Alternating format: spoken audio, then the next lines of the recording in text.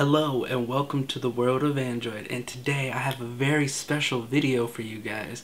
Today we're going to be unboxing the brand new HTC One M9.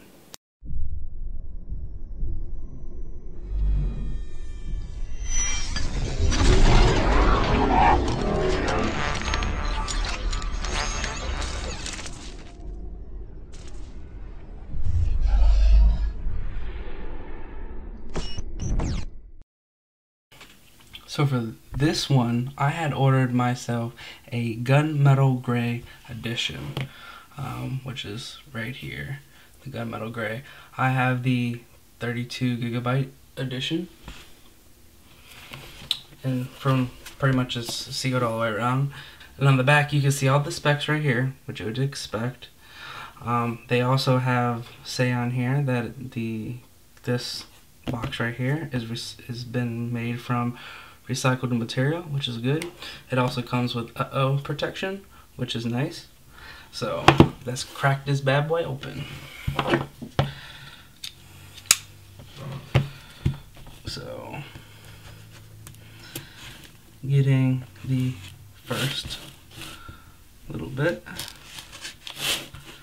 Not trying to uh, ruin the box.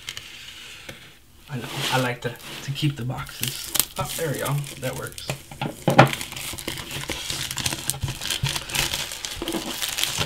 And then from the first thing you see, you have a little bump. You can even hear it too. Just a little style that they put on onto the box. And it says important and all that stuff. We don't need to worry about that.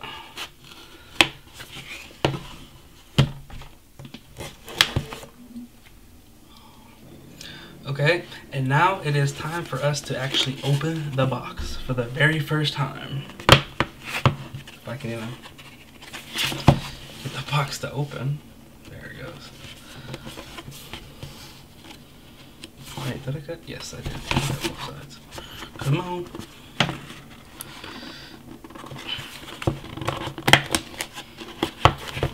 Alright. And then from when we're opening it up, it gives you tells you about the uh, O protection. You get a free phone for the first 12 months, crack screen, water damage, or you can get up to a hundred dollar reward. They only do it one time, so it can't, like you constantly always get a new phone every time you damage it. They only replace it one time. Um, on here it tells you where everything is at. You get your front facing camera in the front, you get your SD, your volume, your power, which is down on the side instead of the top you have your nano sim and then your charging port and your headphones are on the bottom. So we're gonna take the phone out. Comes with a nice little everything else on it. And crack open this bad boy. Comes with your little stickers your sim card remover your welcome packet which anybody can read it. Terms of service, warranty, all the stuff that nobody really reads. T-Mobile SIM card if you didn't have one, and a HTC sticker, which is nice. And on this side, you get your standard micro charging cable, which is USB, and then you get your uh, USB charger to wall. Nothing else spectacular about that. So just close that back up. And then this is what we all come for right here. Just try to get it out of the, oh, well, it doesn't want to slide out. Well, fine. If I can find out how to take this apart. Okay, which way does it go?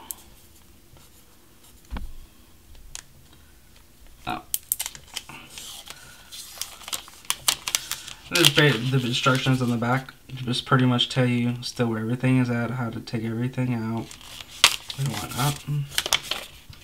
And then after you take this nice glossy stuff off, you get your HTC M9. Now remember, you have a 4 uh, megapixel camera in the front and you also have your 20 megapixel camera in the back. And it comes with dual LED, just your sticker for what it is. You get your charging port down here, your headphones down here, your power button, volume button, SD card slots right here, and then your SIM card is on the other side. Then this whole entire bar right here is your IR port, which not too many people use, but if you want to be fancy, you can use it for your television. Just, you know, tap for the television to tell it what station to go to. I've actually used my M7 for that for a little while. So, for the first time to boot it up, if I can remember where the actual power button is, comes up just HTC, Android, which is pretty much the same thing how my uh, M7 starts up.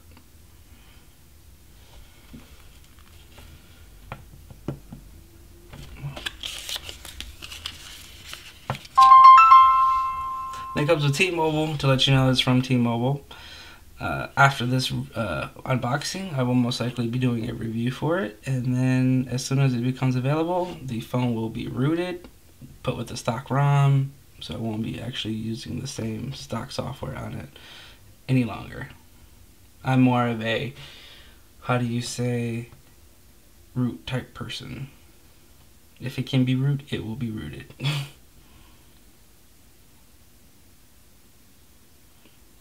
now just doing all the update upgrading for the first time. Most most times when you update your software it goes through this process to make sure everything is up to date with the software and the apps so they're all compatible working configured correctly. Now remember this is running lollipop. I also have lollipop as a custom ROM on my M7 so I can pretty much compare and contrast from each one. And then putting the HTC M7, which is the first generation, you can see pretty much the same thing. The only difference between the M7, the first gen, and the M9 is it doesn't have the capacitive buttons right here. Um, it doesn't have the little um, indicator right here for when it's up to your ear. And the camera, you can tell, is a little bit bigger. But they both still have the grill speakers. Both of the charging ports, except for this one's on this side, and this one's kind of somewhat in the middle, due to the fact that they have the headphone jack on the bottom now. The phone is now rebooting.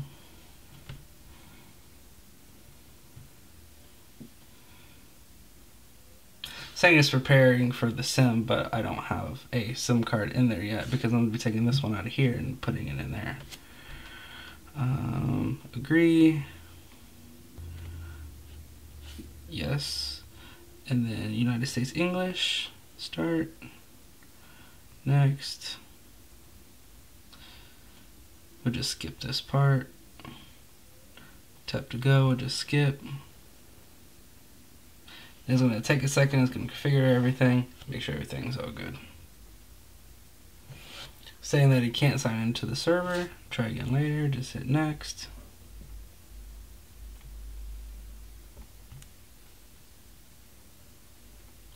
next. And then it goes through the uh-oh protection. So you it'll probably pretty much go over the same stuff that's right here on this thing. Ask if you want to sign in with one of them I'll use my Google account. Still saying I can't sign in so that's fine. Let's see if we can just exit out of this with the home button. Back. Next Oh, sign in later. There you go. Then skip this for now, because we'll be doing the process later. It takes too long to transfer everything between the two. Then it lets you know what do you want to name it. I'm going to just leave it the HTC M9. Same. Personalized home screen. How about we just check both of them?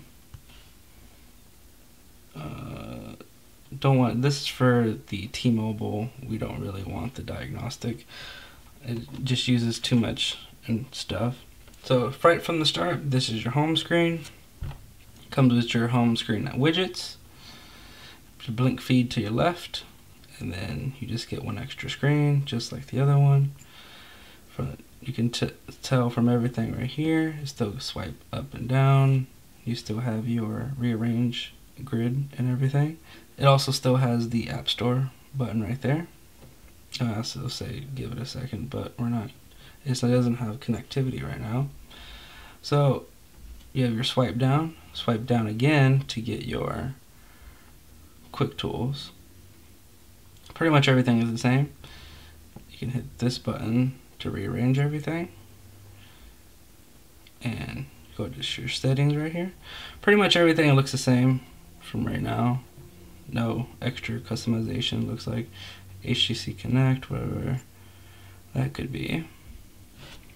And then we're going to compare to this is the um, Lollipop version on the the M7. Basically, you swipe up, you can swipe down, swipe down again for the quick tools. So have your home screen. Still have your app button, pretty much the same, just like that. Both have the App Store button right up on top. Both of them have the arrange button and whatnot. Well, except for the arrange apps. I am actually running a custom ROM on this one, so it's not going to be the same. You can rearrange it right here instead of custom. We'll just do alphabetical, so it'll look a little bit different.